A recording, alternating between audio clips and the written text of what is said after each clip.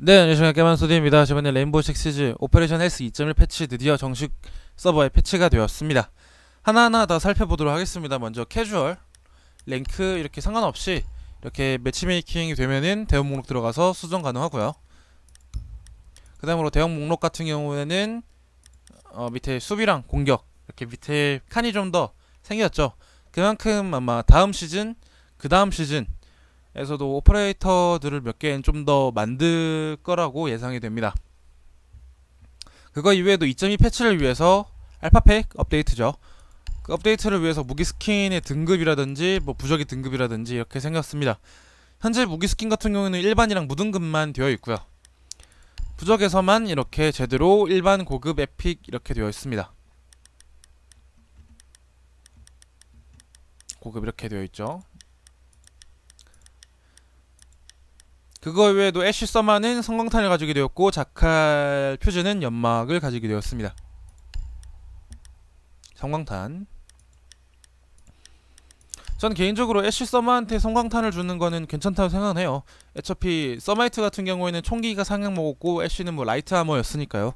근데 퓨즈랑 자칼한테 연막탄을 주는 거는 저도 잘 어떻게 써먹으라는 건지 잘 기억이 잘 애매하기도 하고 그리고 애초에 퓨즈가 창문에 박는다고 많이 쓰지 성광탄을 많이 쓰진 않을 것 같, 연마탄을 많이 쓰지도 않을 것 같기도 하고 뭐 자칼도 좀 애매하긴 하죠. 자칼도 거의 뭐 로머 잡는 격이어가지고 연마탄이 딱히 의미가 있을까라는 생각이 들기도 하고요.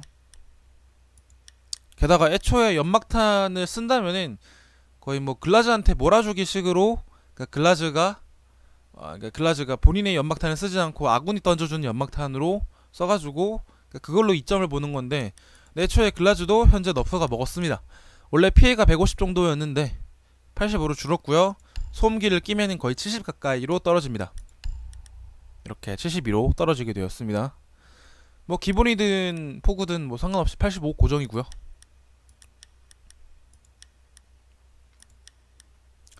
뭐 그거 이외에는 더 이상 찾아볼 건 없고 그리고 어 전설 등급의 스킨이 그러니까 정예가 아니라 따로 전설이라고 표기가 되었습니다.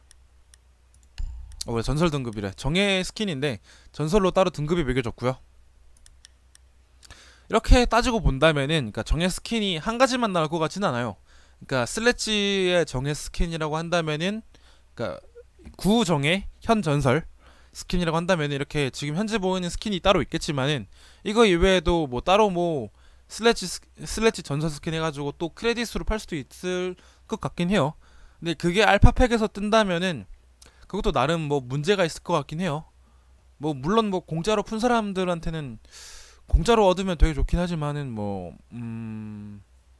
뭐 애초에 뭐 블랙 아이스라든지 뭐 TTS에서 다 뜨긴 떴잖아요. 그렇기 때문에 제 생각은 그러니까 알파팩에서 굳이 나오지 않더라도 알파팩에서만 나오는 게 아니라 그러니까 상점에서도 구하고 알파팩에서도 구하고 그렇게 나올 확률이 좀 더 높다라고 보시는 편이 좋겠죠. 뭐 어느 쪽이든 환영은 하는데 어 저는 개인적으로 중복 크레딧을 주는 거를 좀 더 높였으면 좋겠어요 개인적으로. 그러니까 물론 뭐 제가 뭐 시즌 패스도 다 샀고 뭐 더 살 게 없어가지고 스킨만 사는 날만 남았는데 스킨도 사진 않으니까 제가 거의 한 명성을 모아두고 싶이 하잖아요. 근데 그럼에도 불구하고 크레딧이 그러니까 해당 크레딧이 해당 명성만큼의 가치를 하는지 그것도 좀 생각을 해봐야 될 것 같고요. 그거 이외에 궁금하신 분들을 위해서 상점 가서 한번 다 확인해 보도록 하겠습니다.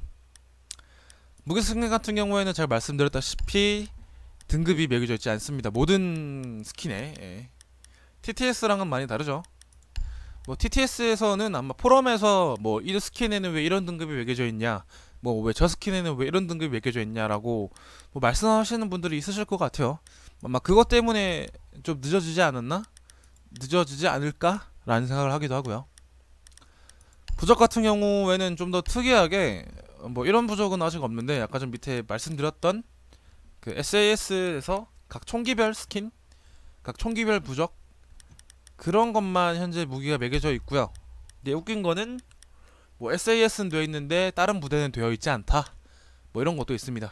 뭐 카피탕이나 카베라가 있는 부대는 이렇게 뭐 따로 뭐 등급이 매겨져 있지 않고요.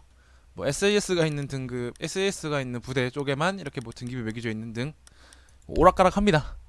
어 이거는 왜 이런지 모르겠지만 같은 부적인데도 불구하고 이렇게 되어 있는 게 좀 웃기긴 하죠. 뭐 무기마다 다르다고 이렇게 되어 있는 것도 웃기기도 하고 뭐 왠지 모르게 그냥 예전에 만들다가 놔버린 듯한 느낌이 들기도 하고요. 예. 그거 이외에 뭐 현재 본섭에서는 확인 가능한 게 custom match의 UI 변경 도 볼 수 있겠네요. 뭐 TTS에서는 custom match가 불가능했으니까요. 이거는 뭐 어, 이것도 일단 방생성하고 할 때는 뭐 따로 변경이 된 게 없어 보이는데 여기 직접 들어가면은 변경이 되어 있습니다.